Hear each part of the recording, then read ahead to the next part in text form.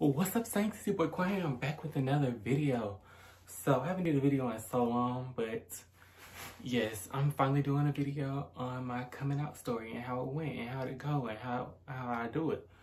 So, before I say this video, this isn't to bash nobody, to like, I'm not gonna say nobody names, to bash nobody, to put nobody down, because in the end, it was my fault with the situation that happened because I am kind of the one that blame. But yeah, like I said, I will not be stating any names because I don't want to make anybody seem like the bad guy or make me seem like the good guy because in all honesty.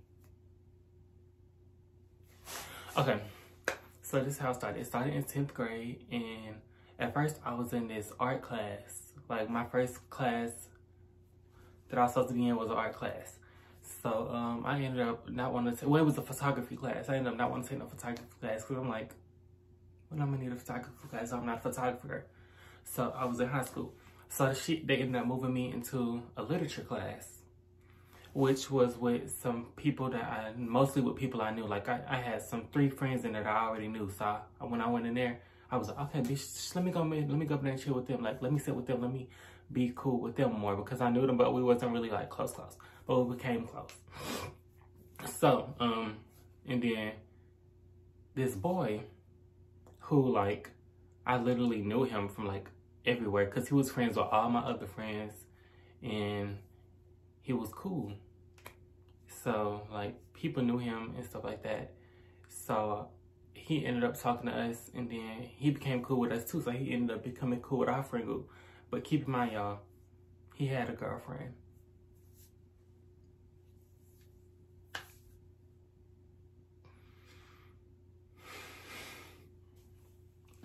Wow. Okay, yes, he had a girlfriend. And, um,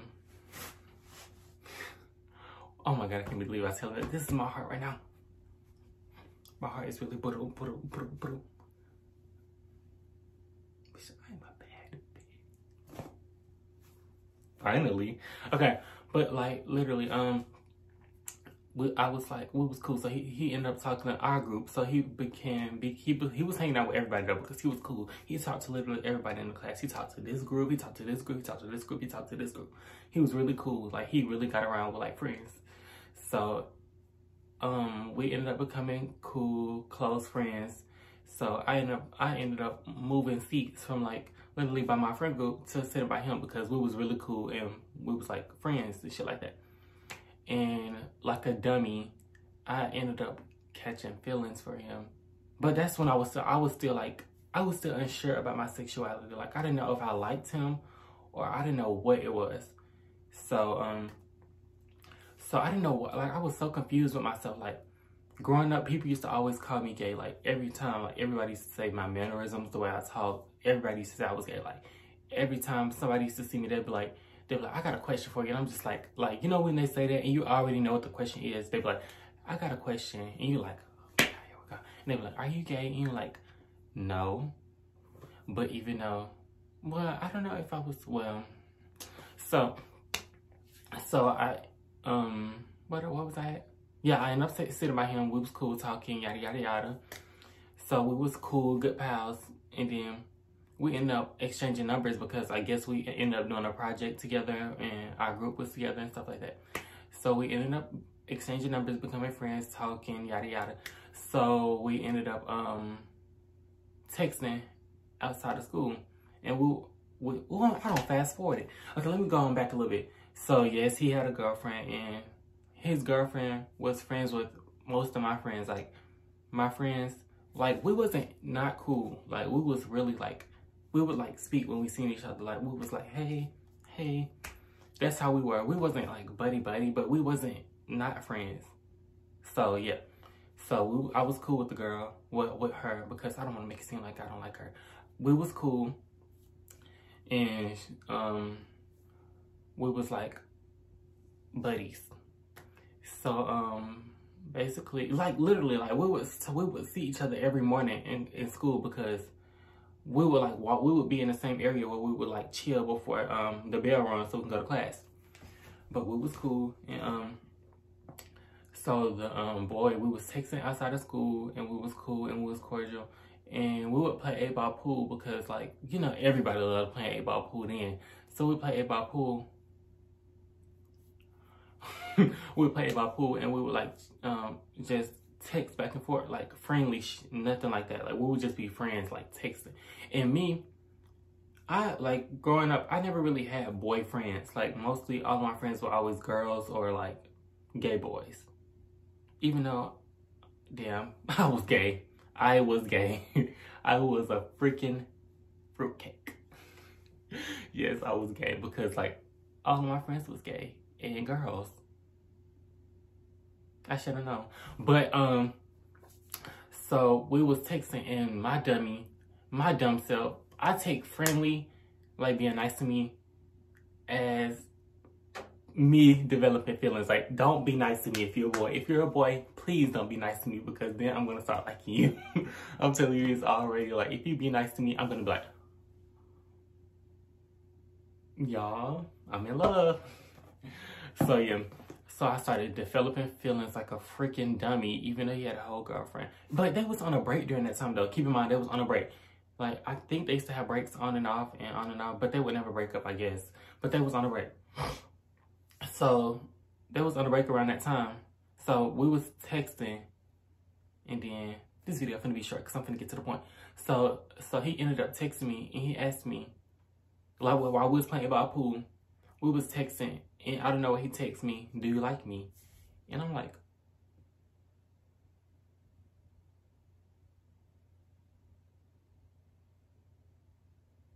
fuck yeah. Well, I'm just kidding. But no, I was just like, I was just like, like you like what? And then he was like, he was like, he was like, I didn't know that answer was that hard to give or something like that. And then I was like, I didn't know that answer. No, he was like, he was like, it's a, it's a simple question. And then I said, I didn't know the answer was that simple to give or something like that. I remember all this stuff because it all ties into the fact. So, yeah, so I remember all of this. Keep in mind, this was 10th grade. So I was just like, um, I ended up ultimately saying yes like a dummy. And I should have said, I should have said no. I should have said no, even though I did, but I should have said no. So, um, yes, um, so he was like, he was like, oh, okay, that's cool. Like, so we just kept being cordial, like all that, like we kept going to school after that, kept being friends, but we wasn't like, after that, we wasn't like, I didn't sit by him no more because basically I was embarrassed because I was scared. I was so scared because I didn't want to talk to him at all after that. I was just like, like I would still speak to him when I see him, but I wouldn't sit by him. So yeah, I was really scared and I was really paranoid. My heart would beat every time I was behind around him because I'm just like, oh my god, he really can like he he really has the ammunition if you want to to tell everybody and like expose me and get me like out tid. So um so basically I we was we would still text, we was still cool after that, still playing eight ball pool. And then um I guess his girlfriend found his phone. Well, well, they used to like switch phones for the days. Like they used to switch phones and like have each other's phone. So I guess they she found my messages and she seen what we was texting, and um somehow it ended up getting out that I liked him. Like I don't know if she exposed it, if he was telling people, but it ended up getting out. So I was really like, so my friend, um, one of my friends that was also friends with her, she texts me and she's like, she's like, um, do you know yada yada yada that's in our class? I mean, that's in your class with him. And I'm like, yeah, I know him. And I was like, well, you should be on the lookout because they be talking behind you, behind your back, and they be calling you all types of names like gay, skinny, and all of that. So I'm just like, oh my god, it's out. It's really freaking happening. So I was really like scared by then. I was like, my heart was literally beating out of my chest because I knew it was finally happening to where I was gonna have to come out eventually because like because I knew it was gonna have to happen eventually. So I was really like scared, paranoid. So we had um I was going to the schools after that every day. It was like it felt like always like the hours was always on me like and I would dread coming to that class at this point. The class that I loved, like loved being in, loved being around all my friends. I used to hate going to that class after that. Like I was so paranoid and scared. It did. I would like succumb and suppress all of my feelings and make it seem like I didn't care. But deep down, it was really hurting me and it really broke my heart because I'm just like, dang, I really like, I was really stupid enough to think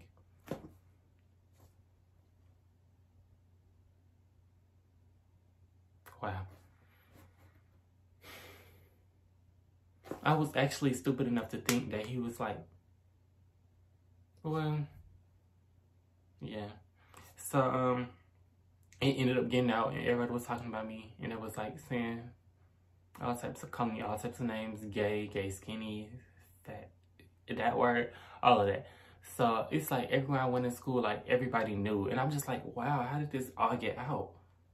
Like I know he wouldn't have did it, I don't think, because like I thought it was really like cool. Like after that he we were still cordial, like like I thought. So I have another friend that's also her friend too. Like I told you all my friends was like connected to her. She told me that like in the end, like he didn't even text me none of that in the beginning. Like I guess she was texting me the whole time, asking me did I like him. And I'm like, I'm a freaking idiot. I'm a freaking idiot. I'm slow. So, yes turns out I guess he wasn't texting me at all and he didn't know that. So um yeah, that's my first time. So after that I just like I just came out. My first that was my first time coming out. So then next year in 11th grade, I started doing dual enrollment where it's like where you would go to another school or you would go to a college to get your college credits so you can like be a head start in college. Like now I'm a junior in college and I'm only 19 when I should only be like a sophomore. But um, yeah. So um, oh God, y'all can y'all tell that I'm nervous? Cause like my heart is like literally. So um,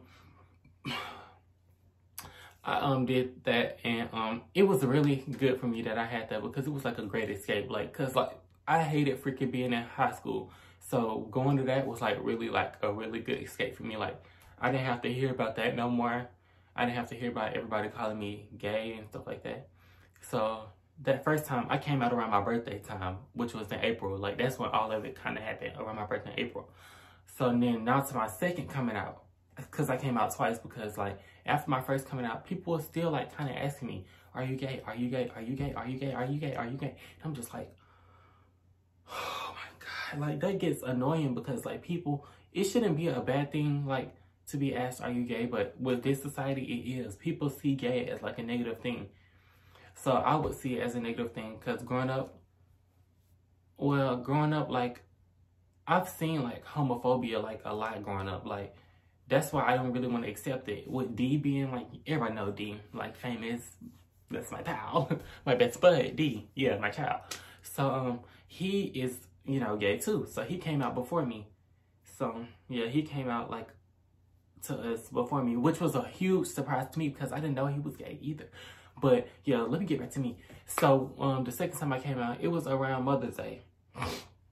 So it was around Mother's Day, and um, I was really like upset for some reason. Like I was really mad. But well, I know why I was mad. I was really mad because of D. So D had his boyfriend around the time. Everybody know his boyfriend, John. D had his boyfriend around the time, and he would like never like want to hang out with us anymore. Like, like he was like always never hanging out with us, and I'm just like, dang, remember we're your brothers too. Like me and D, me and MJ, me and MJ would have conversations about that. Like we're your brothers too. Remember that. Like remember us. So he would like never want to hang out with us. He'll always be gone. Never want to chill with us. So I'm just like, and then I was finna go to college too. So I'm like, I'm really finna be going to college. Like you don't want to hang out with me before we leave. So um, so yeah um. Around the time I was really upset. I should insert, okay, around this time, I'm insert a clip if I remember. Like, this is around the time, right?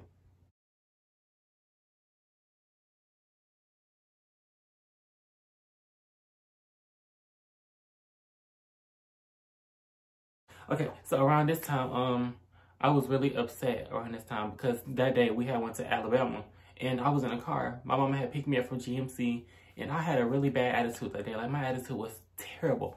My mom was like, what's wrong with you? And I was just like, nothing, nothing, nothing. Like I really didn't want to talk about it. But I was really mad about the fact that D, I was still mad about that. But so when I got to Alabama, and I made this long dramatic post that I shouldn't have posted, and I put on Instagram, put it on Facebook. I said, I really think I have like a mental disorder, like I'm bipolar, where I'd be like happy then sad the next moment. I posted on uh, in Facebook. So my mom was already really mad at me too because she don't like when people are in our business. And I really put that on Facebook like an idiot. yeah, so I posted that on Facebook. So she was just like, um, take that down. So I took it down. And um, so around that time, um, I went to my grandma's house. My my grandma, not on my mama's side, my grandma, other grandma, not Nana. So we ended up going over there and we was chilling. Well, we wasn't at her house, we was at my cousin's house, but she was over there. So we was all, they was all partying. And my grandma said she wanted to talk to me, so she took me outside. And she was like, um, she's like, I know why you're upset. I seen your post. And I was like, uh, like, I really thought she knew about the D situation, but she was like, she was like, it's because you keep su suppressing all your feelings with your sexuality. Just go ahead and tell your mama. Just go ahead and tell your mama. Just tell her. But I never like really quit. I was never really scared of the fact to tell mama that I was like, you know, because like mama, no, mama knew already like her children was like, I think mama already knew because it wasn't a secret. Like I wasn't no, it wasn't, I wasn't hiding it. It's like I wasn't hiding it at all. Look at this. Fix that. But I wasn't hiding it at all. It's just like, I just didn't say it. But I think I knew mama knew. So my grandma was like, just tell her, just tell her, just tell her. So I ended up, after we had got home that night, I ended up telling my mama. It was, that was May 11th when I told her. And she was like, and I told her it was like May 12th the next day. The next day I posted on Instagram this time. Like I really posted on Instagram. I posted the post on Instagram and I said, um, I wrote this long, long paragraph. I might put a picture of it.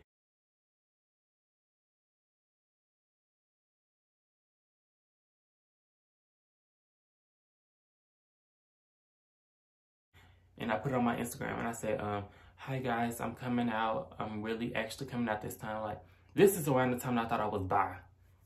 Child.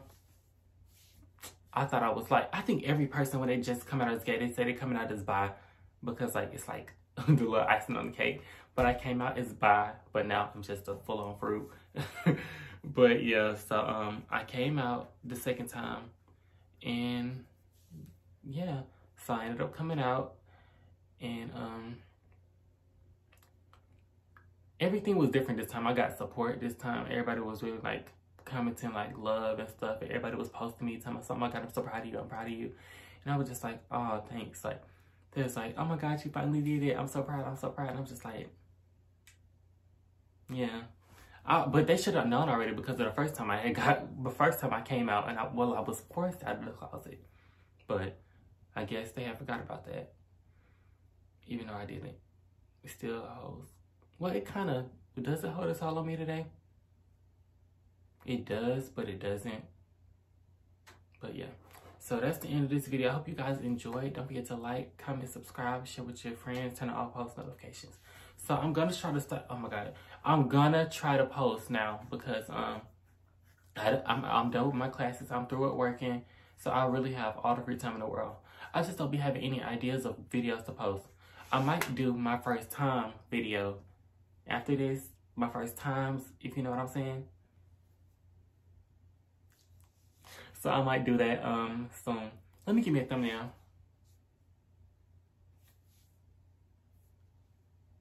I need to get something sad, like I like I'm sad.